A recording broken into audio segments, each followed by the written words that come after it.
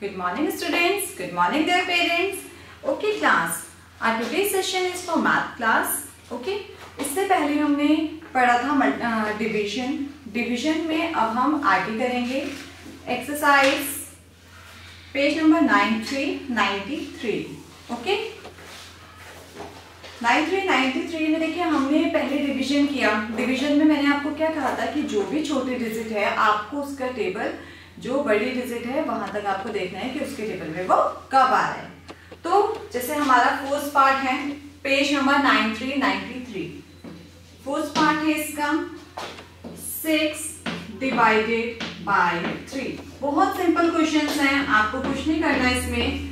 Six divided by three तो छोटे digit क्या है आपके पास? थ्री तो आपको थ्री का टेबल बोलना है और देखना है कि थ्री के टेबल में सिक्स कब आ रहा है। तो थ्री के टेबल में सिक्स कब आ रहा है? थ्री वन जा थ्री थ्री टू जा सिक्स तो कितने टाइम्स आया? टू टाइम्स तो टू क्या हो गया हमारा? आंसर ओके ऐसे ही हमें और पार्ट्स करने हैं. अब देखिए, जैसे आई आई वाले पार्ट में क्या है आपका? फोर्टीन डिवाइडेड बाय टू तो स्मॉल डिजिट क्या है आपकी? टू अब टू के टेबल में हमें देखना है कि टू के टेबल में फोर्टीन कब आ रहा है? तो टू के टेबल में फोर्टीन कब आ रहा है? टू वन सा टू टू टू जा फोर, टू थ्री जा सिक्स, टू फोर सा एट, टू फाइव जा टेन, टू सिक्स जा ट्वेल्व, टू सेवन जा फोर्टीन। तो टू फोर्टीन के टेबल में, टू के टेबल में फोर्टीन कब आया? सेवन टाइम्स तो सेवन इज़ अवर आंसर मतलब सिंपल आपको कुछ नहीं करना है। आपको जो भी स्मॉलर डिजिट है, उसका टेबल बोलना है और उसके टेबल में देखना है ये नंबर आपका कब आ रहा है। ओके ऐसे ही आपका एक क्वेश्चन है। Twenty divided by two. Again two तो आपको टू का टेबल बोलना है और देखना है कि टू के टेबल में ट्वेंटी कब आ रहा है। तो कब आता है? टू टेन सा ट्वेंटी तो write down ten here clear तो आपको बस स्मॉलर डिजिट का टेबल बोलना है और उसमें देखना है कि ये वाली डिजिट कब आ रही है। Okay now next are exercise three three thirty three अब 33 एक्सरसाइज में देखिए आपके बहुत सारे सॉन्ग्स हैं। फ़र्स्ट है आपका write a multiplication fact and a division fact for each picture आपको जो भी पिक्चर दे रखी है, उसके लिए आपको मल्टीप्लीकेशन भी बताना है और डिवीज़न भी बताना है। मतलब इसके लिए हम मल्टीप्लाई करेंगे तो आंसर क्या आएगा और अगर हम उसे डिवाइड करेंगे तो हमारा आंसर क्या आएगा। तो आप देखिए, इसकी फ़र्स्ट पिक्चर देखिए। फ़र्स्ट पिक्चर तो आपकी सॉल्व हो रखी है है ना? तो अब हम करते हैं इसकी बी वाली पिक्चर बी में देखिए आपका क्या है? फाइव बनानास हैं ऊपर वाले ब्लॉक्स में और फाइव बनानास हैं आपके नीचे वाले ब्लॉक में। ठीक है?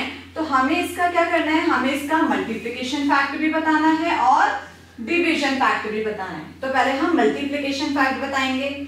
हमने मल्टीप्लीकेशन इससे पहले वाले चैप्टर में किया है। तो मल्टीप्लीकेशन के लिए हम क्या करते हैं? सबसे पहले हम देखते हैं कि कितने ब्लॉक्स हैं, कितने ग्रुप्स हैं। वन टू टू ग्रुप्स है ना? तो हमने लिख दिया यहाँ पर टू। बीच में लगाया मल्टीप्लाई का साइन ठीक है? मल्टीप्लीकेशन में आप पहले ग्रुप देखते हैं और डिवीज़न में आप नंबर्स देखते हैं। ठीक है? तो अब यहाँ पे कितने ग्रुप्स हैं? वन टू टू ग्रुप्स हैं। हमने लिख दिया टू बीच में लगा दिया मल्टीप्लीकेशन का साइन क्योंकि हमें मल्टीप्लीकेशन फैक्ट बताना है।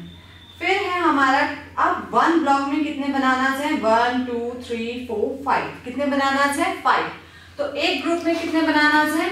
फाइव जब एक ग्रुप में फाइव बनानास है तो टू ग्रुप्स में कितने होंगे? टू फाइव टेन ठीक है? सिंपल बस आपको ग्रुप देखने कि कितने ग्रुप हैं। एक ग्रुप में कितने हैं तो दो ग्रुप में कितने होंगे? तो हमने लिख दिया, पहले टू ग्रुप से हमने लिखा टू मल्टीप्लाई अब एक ग्रुप में कितने हैं? फाइव तो हमने लिखा five equals two two five सा टेन ये हो गया इसका मल्टीप्लीकेशन फैक्ट अब है इसका डिविजन फैक्ट डिविजन फैक्ट में हम क्या करेंगे? डिविजन फैक्ट में हमारा सिंपल सा है. कुछ नहीं करना, हमें पहले इसका टोटल काउंट करना है. कितने हैं? One two three four five six seven eight nine ten इसमें डिवीज़न में हम बड़ी डिजिट पहले लेते हैं. मतलब हम टोटल लेते हैं पहले. और फिर उसको किससे डिवाइड करते हैं? कि कितने ग्रुप्स है? वन टू टू ग्रुप्स हैं. मतलब हमें टोटल को ग्रुप्स में डिवाइड करना होता है. तो सिंपल, वही मेथड है जो हमने अभी पहले किया। टू का टेबल बोलेंगे और देखेंगे उसमें टेन कब आ रहा है। टू, फाइव, सा, टेन, सिंपल। ओके? और आप इसे ऐसे भी कर सकते हैं। जैसे टेन आया आपका मल्टीप्लीकेशन फैक्ट में तो आपने यहाँ पे टेन लिखा, बीच में डिवाइड का साइन और जो सबसे छोटी डिजिट है वो। उसका टेबल बोला तो ये आपका आंसर आ गया। ऐसे क्रॉस मल्टीप्लीकेशन भी हो सकता है आपका। ठीक है? क्रॉस आंसर चेकिंग भी होता है। तो इसमें आपको सिंपल कुछ नहीं करना मल्टीप्लीकेशन फैक्ट में पहले आपको ग्रुप देखने हैं, उसके बाद उसमें देखने कि कितने नंबर्स हैं।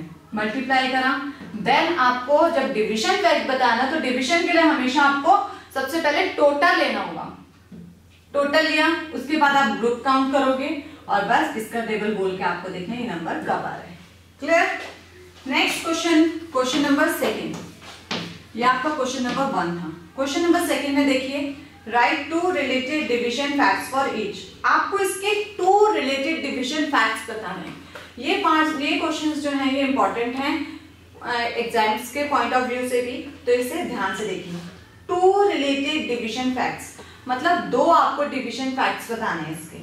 जैसे आपका फ़र्स्ट पार्ट है two into eight equals two sixteen ठीक है? ये आपको मल्टीप्लीकेशन दे रखा है। ये देखिए मल्टीप्लाई का साइन है। अब इसके आपको डिविजन फैक्ट बताने हैं। तो कुछ नहीं करना, बहुत इजी है आपका। जो आपका आंसर आया, उसको आप दो डिविजन फैक्ट्स बताने हैं तो दो बार लिख। दो डिवाइड का साइन डिवाइड का साइन अब देखो, यहाँ पे एक बार टू है और एक बार एट है। तो आप यहाँ पे एक बार एट लिख दो और एक बार टू लिख दो। सिंपल अब एट का टेबल आप बोलो सिक्सटीन तक एट के टेबल में सिक्सटीन कब आता है? एट टू जा सिक्सटीन तो देखो, जब आपने सिक्सटीन लिखा था और एट लिखा था तो आपका आंसर कितना आया? टू अब जब आपने लिखा है यहाँ पे सिक्सटीन डिवाइडेड बाय टू तो आपका आंसर कितना आएगा? एट क्योंकि टू एट जा क्या होता है? सिक्सटीन आंसर आपका इसी में से आएगा, बस आपको ये देखना है कि उसमें मैथड क्या लग रहा है। आपको मल्टीप्लीकेशन फैक्ट दे रखा है, इसका डिविजन फैक्ट निकालना है। डिविजन फैक्ट के लिए आपका ये जो बिगर नंबर है मतलब जो आंसर है, वो लिखेंगे डिवाइड का साइन लगाएँगे, एक बार आप टू लिख देंगे और एक बार एट लिखेंगे। जिसमें आपने एट लिखा, वहाँ पर ये आंसर आ गया और जहाँ पे आपने टू लिखा, वहाँ पर ये आंसर आ गया। क्लियर सिंपल है? Now next question number third इसमें भी कुछ नहीं करना सिंपल है। Write two related multiplication facts आपके दो मल्टीप्लीकेशन फैक्ट्स बता रहे हैं। यहाँ पर आपको मल्टीप्लीकेशन दे रखा था। आपने डिविजन बताया। यहाँ पे आपको मल्टीप्लीकेशन यहाँ पे आपको डिविजन दे रखा है मल्टीप्लीकेशन फैक्ट बताना है। मैं आपको इसका बी पार्ट करवा देती हूँ। बी पार्ट में क्या है? Eighteen divided by six is equals to three ठीक है? तो आपको देखो यहाँ पर क्या है? डिविजन है। यहाँ पे आपका डिविजन है। आपको क्या बताना है इसका? मल्टीप्लीकेशन फैक्ट बता रहे हैं। तो मल्टीप्लीकेशन फैक्ट के लिए आपको कुछ नहीं करना सिंपल सा है। आपको क्या करना है? पहले जो भी डिजिट्स हैं, जैसे यहाँ पे क्या है सिक्स है तो आपने यहाँ पे लिख लिया सिक्स इंटू यहाँ पे क्या है? थ्री तो आपने लिख दिया सिक्स थ्री सा। ठीक है? तो आपका आंसर ये आ गया। आ गया? अब आप क्या करोगे? इस डिजिट को इंटरचेंज कर लोगे। एक बार आपने सिक्स ले लिया था यहाँ पर, आप यहाँ पे क्या ले लोगे पहले? थ्री ले लोगे। और फिर सिक्स मतलब डिजिट आपको छोटी वाली ही लेनी है दोनों, क्योंकि आंसर जो बड़ा वाला डिजिट है, वो आपका आंसर आएगा। आपने एक बार सिक्स इंटू थ्री कर दिया थ्री इंटू सिक्स तो आंसर सेम है आपका। थ्री इंटू सिक्स भी क्या आएगा? एटीन आएगा। तो चाहे आपका मल्टीप्लीकेशन फैक्ट हो या डिविजन फैक्ट हो, आपको ऊपर जो क्वेश्चन गिवन है, उसी से आपका आंसर भी है।